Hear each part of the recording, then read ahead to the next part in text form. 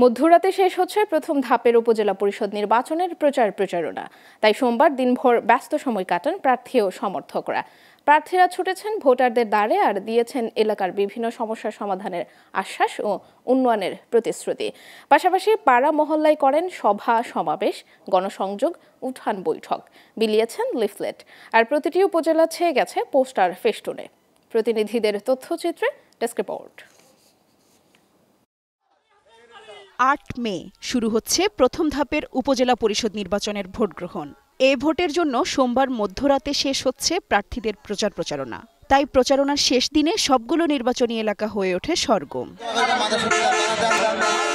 রংপুরের পীরগাছা ও কাউনিয়া উপজেলায় নির্বাচনের প্রচার প্রচারণার শেষ দিনে ব্যস্ত সময় কাটান প্রার্থীরা। এ উপজেলায় সুষ্ঠু ভোট নিয়ে আশঙ্কা প্রার্থীদের। তাই ঝুঁকিপূর্ণ কেন্দ্রে নিরাপত্তা নিশ্চিতের দাবি তাদের।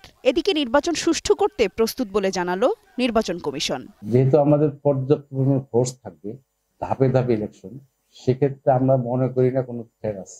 কুমিল্লায় ভোট হবে চার উপজেলায়। তবে স্থানীয় সরকার মন্ত্রীর এলাকার আশিটি কেন্দ্রের মধ্যে সত্তরটি ঝুঁকিপূর্ণ বলে মনে করছেন চেয়ারম্যান প্রার্থী জাকির হোসেন। প্রত্যাগত প্রবাসী আওয়ামী লীগের নেতৃবৃন্দ এখানে আমার ভোট চাওয়ার জন্য এসেছে। কক্সবাজার সদরে চেয়ারম্যান পদে আনারস প্রতীকে লড়ছেন জেলা আওয়ামী লীগের সাধারণ সম্পাদক মুজিবুর রহমান ও মোটরসাইকেল প্রতীকে মুক্তিযোদ্ধা নুরুল আফসার।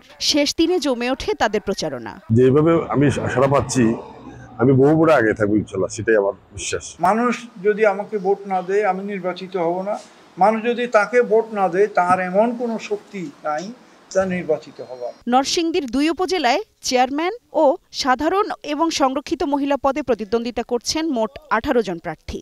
তবে আওয়ামী লীগের কয়েকজন প্রার্থী অংশ নেয় ভোটের দিন সংঘাতের আশঙ্কা করছেন ভোটাররা। আশাবাদী যাতে আমরা ভোট কেন্দ্রের মধ্যে যাইতে পারি সঠিক সময় যাতে আমরা ভোটটা দিতে পারি। যে লোক দূর দূর করব এই লোক আমরা চাই না। চাঁপাইনবাবগঞ্জের নাচল গোমস্তাপুর ও ভোলাহাটে প্রচার প্রচারণার শেষ দিনেও ভোটারদের কাছে গিয়ে ভোট চাওয়ার পাশাপাশি বিভিন্ন প্রতিশ্রুতি দিয়েছেন প্রার্থীরা।